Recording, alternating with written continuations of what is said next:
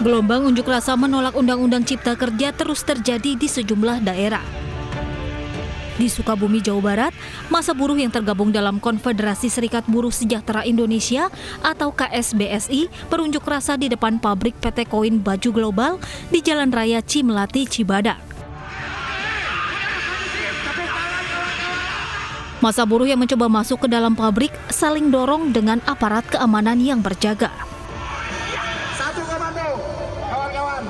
Kami minta satu komando, kawan-kawan.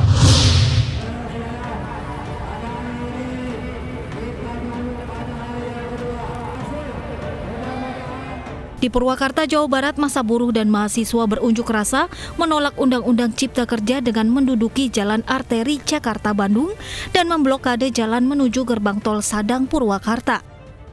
Masa buruh kemudian menggelar orasi penolakan Undang-Undang Cipta Kerja yang dinilai akan merugikan kaum buruh dan masyarakat.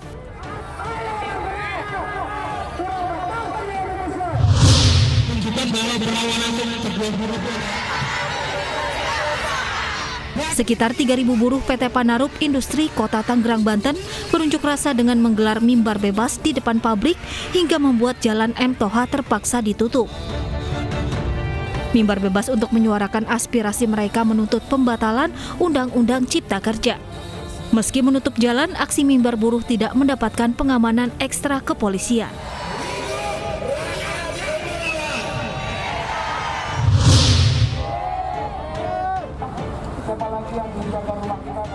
Aksi serupa juga digelar masa buruh di kawasan industri Cikupamas, Kabupaten Tangerang, Banten. Masa buruh membuat barisan menutup akses jalan kawasan industri.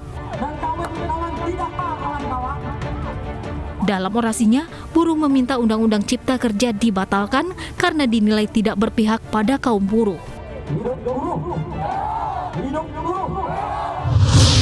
Jangan pernah berpikir bahwa perusahaan Di Jakarta Timur, unjuk rasa buruh menolak Undang-Undang Cipta Kerja digelar di kawasan industri Pulau Gadung.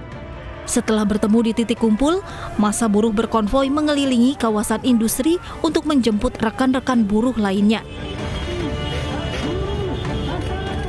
Masa buruh kemudian menggelar orasi di sekitar bundaran kantor pajak untuk menyuarakan aspirasi penolakan Undang-Undang Cipta Kerja yang dinilai tidak memperhatikan kesejahteraan buruh.